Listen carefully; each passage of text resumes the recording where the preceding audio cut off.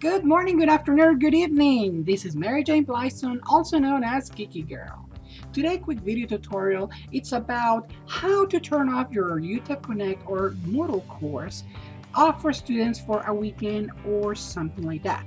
There are some instructions that the instructors that desire students to take their final test or midterm without having access to the course. So how is this done? If you look in your screen, go to your course and then go to the administration panel right here and we just basically go to edit settings. Once we're in there, on visible, notice how it's to show. Visible is a setting that determines whether the course appears in the list of courses. Apart from teachers and administrators, users are not allowed to enter the course. So, simply turn this to hide and select Save Changes and immediately your course has been hidden. And that's it, there's all to it.